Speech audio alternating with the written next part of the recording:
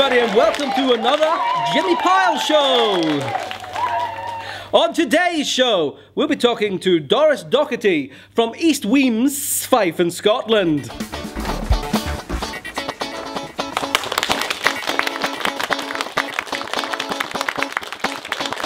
Doris, welcome to the show.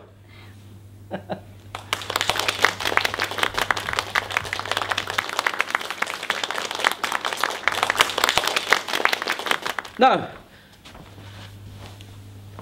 you're here today because you believe your now estranged husband, Thomas Docherty, otherwise known as Tam, has been cheating on you with various ladies from his past. And even though he's tried to explain himself on various times, you don't believe him. Aye, but you've out the that he's a gambler. He's never he, he never at the pub drinking with his pals. He gets through all the time and he never done anything in that house of mine. In fact, if he's here today, I'm going to get him. Now, Doris, Doris, eh? calm down, calm down. I think it's time to get our next guest out. Let's bring Tam to the stage, please.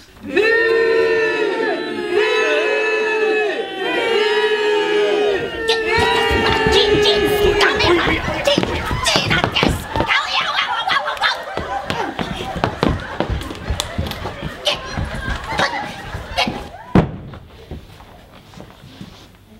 Now just you wait a minute, Doris. You've got this all wrong. I've been trying to tell you for months, but you'll just no listen. Just wait a minute now, Tam. I'm saying nothing until Daisy comes on this stage because she knows you more than anybody.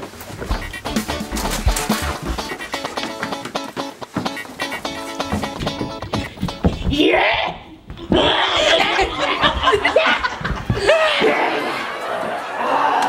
yeah! Daisy, what have I ever done to you?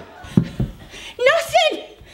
I thought this is what you were meant to do in this show. So take that for a good measure.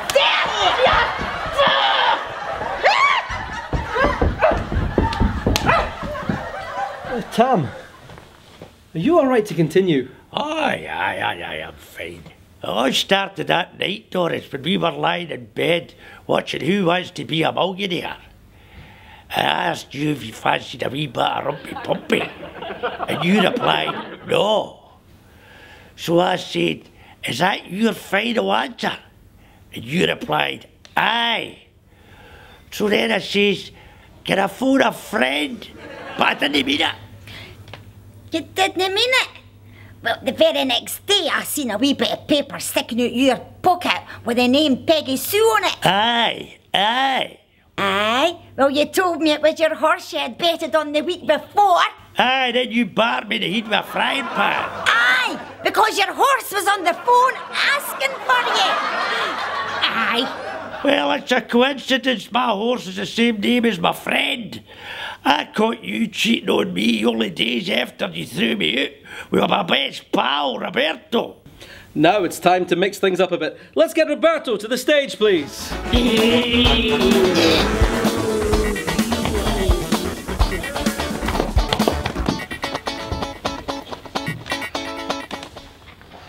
Let's even things up a bit. Let's bring Eva to the stage, please. You're nothing but a cheating scum of a man.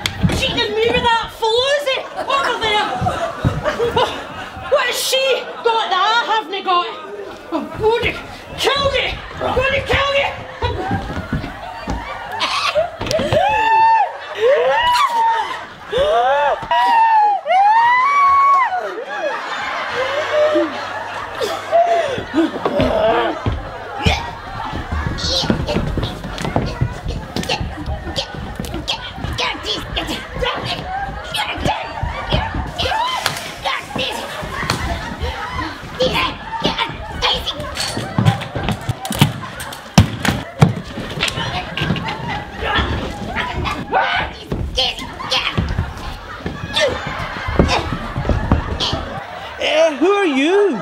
I'm this pair's mother. Ah. Would you like to take a seat? I'm not sitting down and watching my girls getting battered. Ma, sit down. Come on. Come on, Ma. So what started this? Well, I'll tell you what started it.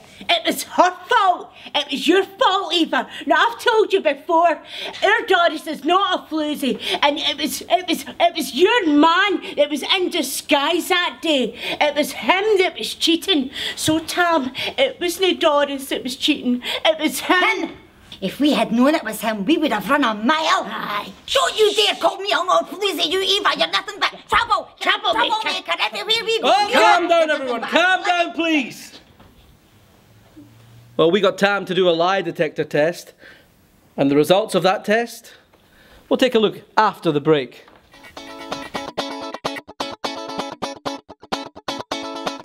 We're back, and you're watching the Jimmy Pile Show. We asked Tam the following questions using our 99.9% accurate lie detector test. We asked you first Have you ever fancied or craved another woman other than Doris? You said yes. Our lie detector said you were lying. We then asked you if at any time since you've been married to Doris, if you had ever had a relationship with any other woman. You replied, no. The lie detector said, you were lying. Hold on a wee minute. That machine can't read my mind. Relationships. I've had a relationship with my ma, my dad, my sister. Doesn't I'm sleeping with them. Your machine You're having enough of this. I'm out of here. Please come back, Tam. Please come back. We have a surprise for you. Come and sit down. Come on. Please welcome Heather McShugle.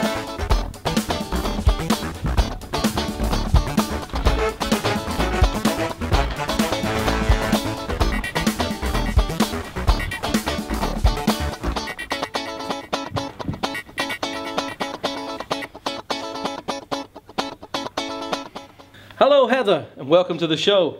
You're here to explain to us that you did have an affair with Tam 23 years ago.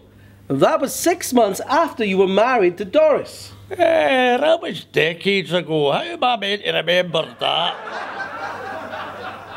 Let me think about it, Heather. Aye. I met you inside the chip shop. How's it going, Hen? Well, I've been looking for years for you, Tam Docherty, and finally found you through this show. You left me high and dry that night, that party we were at. And I never saw you again. Look, Heather, if I remember right, it was a one night stand. We never even slept together. It was just an e traveller up that close next to the wee corner shop. I put it to you, Tam, that you did have an affair with Heather that night. And after a quick knee tremble in the passageway, you left her there alone. Oh no, I never. I made sure she'd an organism first. And how did you know I had an organism?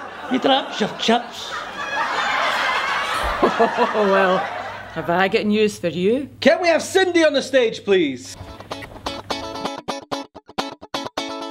Cindy, do you mind if I ask you why you have a Tampax behind your ear?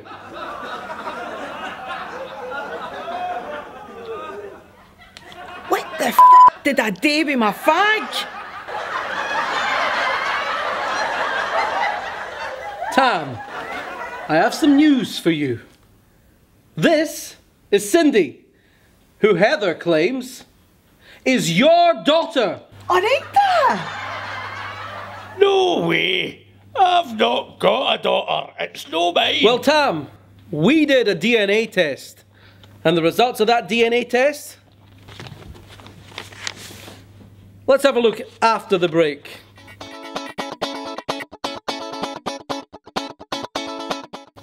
Welcome back, folks.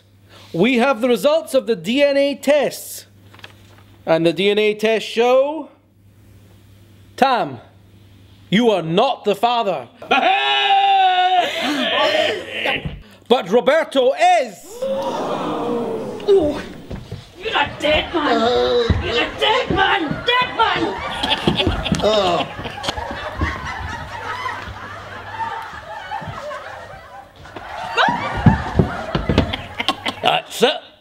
I'm away home.